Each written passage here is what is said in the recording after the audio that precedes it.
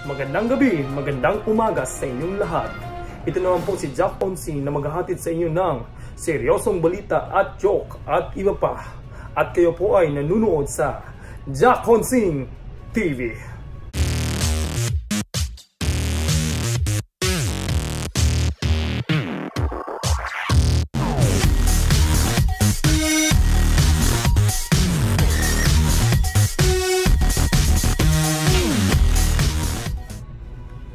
Sa ulo at nagbabaga nating balita, isang lalaki nagreklamo dahil hindi niya masindihan ang nagbabagang apoy. Ayon sa nakakita, ang lalaki muntikan nagmag-amok at gustong sunugin ang nababagang apoy. At pakinggan natin ang pahayag sa lalaking nakakita. Grabe talaga sir. Talagang kung hindi namin napigilan sir, talagang susunugin niya ng ano sir, nagbabagang apoy sir. Talagang uh, buti na lang sir, napigilan namin siya sir. Yan po ang pahayag ng lalaking nakakita sa pangyayari. At dako tayo sa seryosong pagbalita.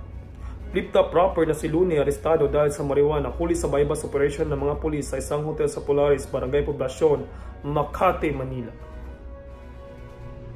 At dako tayo sa sport news, mga batang yagit na nalo sa pabahuan laban sa mga batang lansangan. Pahayag ng mga batang lansangan na natalo Talagang talo sila at dihado dahil ang mga batang yagit hindi naliligo kaya tinawag silang batang yagit.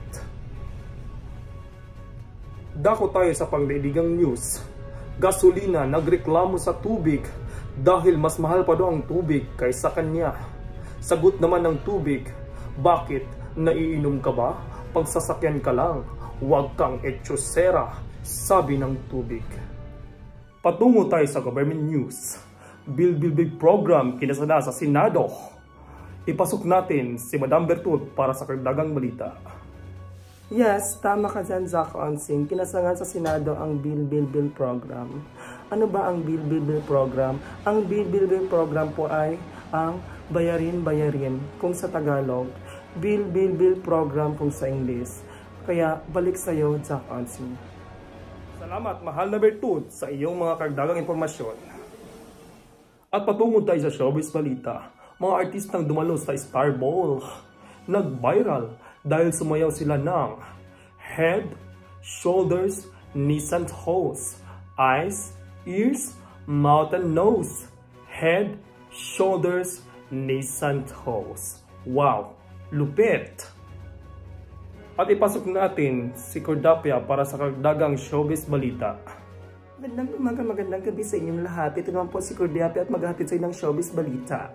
Yes, tama ka, Zach on scene. Nag-viral nga ang sayo ng Head Shoulders ni Santos na mga artistang dumalo sa Star Ball. Kaya ang sabi ng iba, sasayo din sila ng Baby Shark. Wow, lupit talaga, bongga. Maraming salamat, Cordapia, sa iyong showbiz balita. At yan po ang laman ng ating balita ngayon. At kung nagustuhan mo ang balitang ito, maaari kang mag-like, share, and subscribe. At huwag kalimutang pinutin ang bell button para updated ka sa mga balita at kabaluyan na gagawin ko sa YouTube channel ko. At muli, kayo po ay nanonood sa Zakonsing TV.